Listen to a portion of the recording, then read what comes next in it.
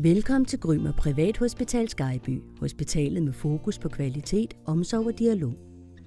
Hospitalet udfører plastikkirurgi som hovedspeciale, samt øre, næse, halskirurgi og avanceret hudpleje.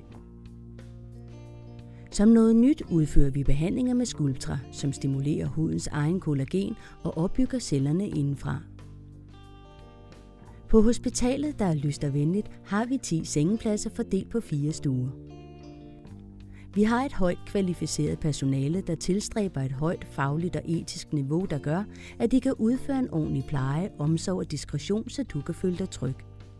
Så ring til Grymer Privathospital Skyby på telefon 86 10 411.